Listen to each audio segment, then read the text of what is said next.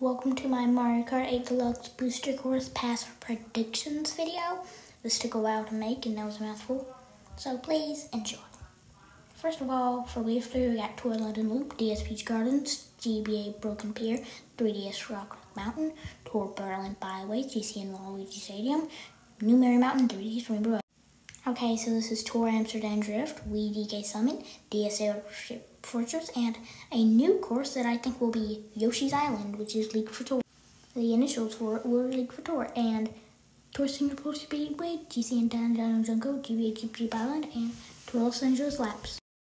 Okay, for Wave 5, we got three unknown tour tracks that I'd just like to talk about. First, I picked Algiers Turn, Oslo Roadway, and a tour bathroom track because they all had their initials leaked, and I think that's just making Besides, we got Tour Algiers Turn, Wii Koopa Cape, GBA Sunset Wilds, which was leaked, and also Oslo Roadway, Tour Bangkok Rush, GCN Daisy Cruiser, SNES Bowser Castle, because I think Vanilla like one isn't to come with Snowland, and a tour bathroom track, which initials were leaked. Next is Way 6, which a bunch of other new tracks. First of all, is Tour Vancouver Velocity, Wii Maple Treeway, and also I would like to talk about you to this one.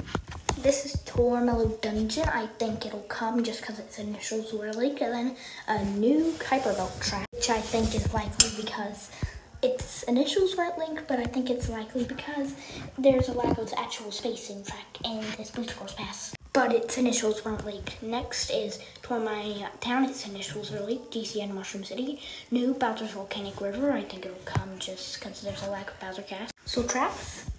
And I don't think we'll just get a plain new Bowser Castle. Then we Rainbow Road. It's pretty much guaranteed at this point. Okay, that's the end of the video. Thank you all. And I'll like and live right. Bye. That was cool. Ba-doom.